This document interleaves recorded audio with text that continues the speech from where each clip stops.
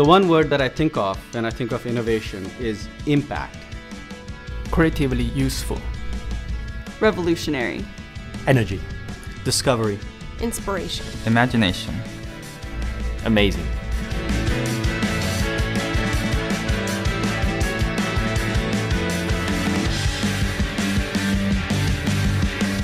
Innovation means changing things. Whether it's a completely new idea or finding the last piece to a well thought out puzzle. To, to me, innovation means bringing technically superior solutions to, to our customers. At its core, innovation is creativity and practicality rolled into the same coil. It's exciting to create something that hasn't been done before.